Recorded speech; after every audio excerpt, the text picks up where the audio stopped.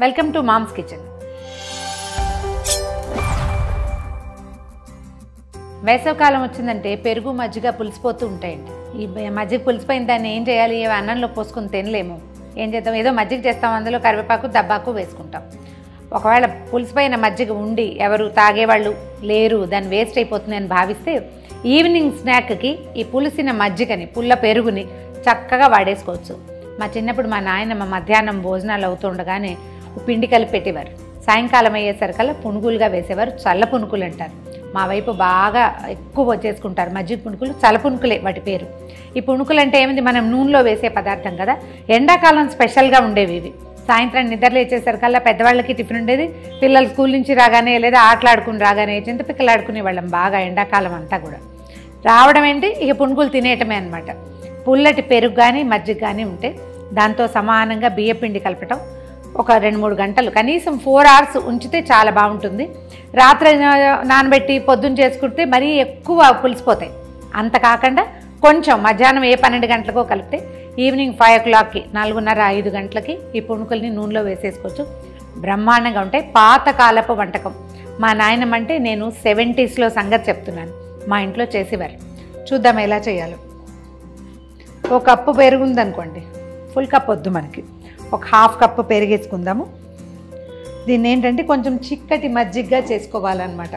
అటు ఇటుగా ఒక కప్పు చేయాలనుకుంటుంది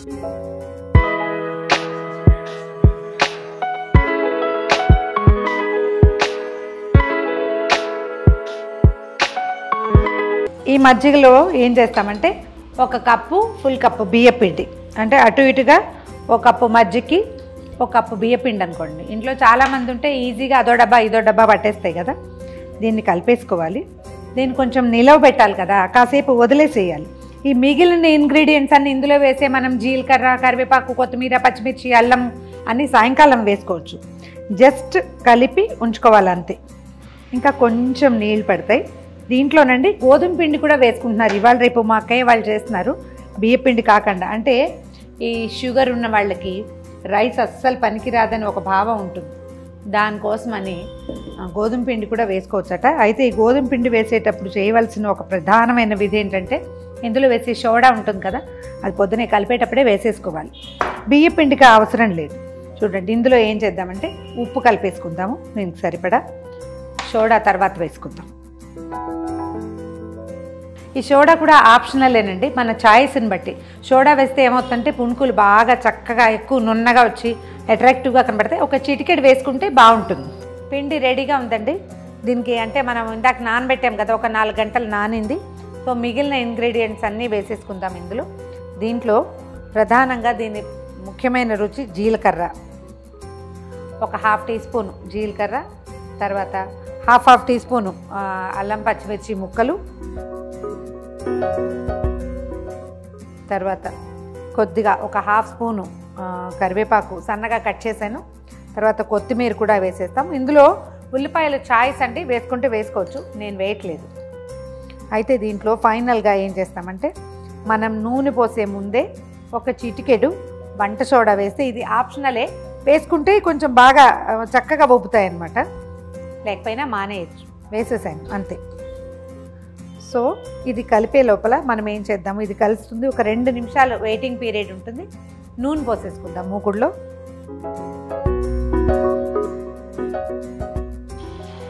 చిన్న చిన్న పునుగుల్లాగా వేసేసేద్దాం నీటిలో నూనెలో. నీటిలో అని చెప్తున్నాను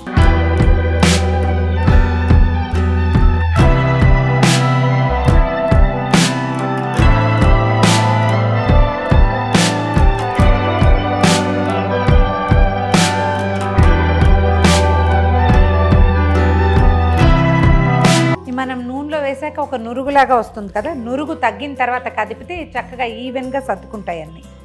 ఇవి పెరుగు వేసాం కదా చల్ల పుణుకులు కాబట్టి మొదట ఏంటంటే అతుక్కుపోయినట్టు ఉంటాయి. అవి కొంచెం వేగిన తర్వాత నిదానంగా విడదీస్తే వాటి దారిన అవి పక్కకి వెళ్ళిపోతాయి. మీడియం ఫ్లేమ్ మీద నిదానంగా వేగనివ్వండి బయట క్రిస్ప్గా అవుతాయి లోపల సాఫ్ట్గా ఉంటుంది చాలా రుచిగా ఉంటాయి. అన్ని పక్కల వేగాక తీసేసేయండి వీటిని చేత్తోనే వేయక్కర్లేదు స్పూన్తో కూడా వేసుకోవచ్చు. మన అలవాటుని బట్టి నూనెలో చేయి పెట్టగలిగే అలవాటు ఉన్న వాళ్ళు అలాగా. లేకపోతే స్పూన్తో డ్రాప్ చేసినా కూడా సరిపోతుంది. ఇలా రౌండ్గానే రావక్కర్లేదు. చల్ల పునుకులు ఎలాగైనా రావాలి.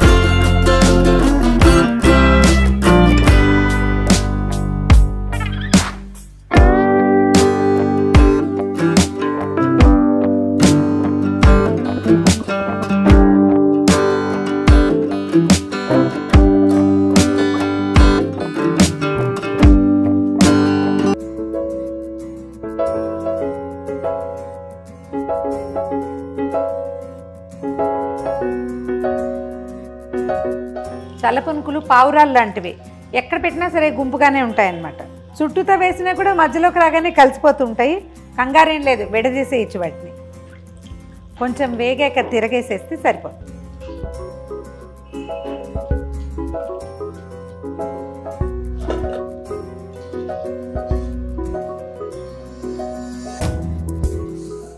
చాలా మంచి వాసన వస్తున్నాయి మన పుల్లటి కమ్మటి చల్ల పునుకులు రెడీ అయిపోయినాయి. అస్సలు నూనె పీల్చలేదు బాగా క్రిస్ప్గా ఉన్నాయి. ప్లేట్లో పెట్టేసుకుందామా మరి?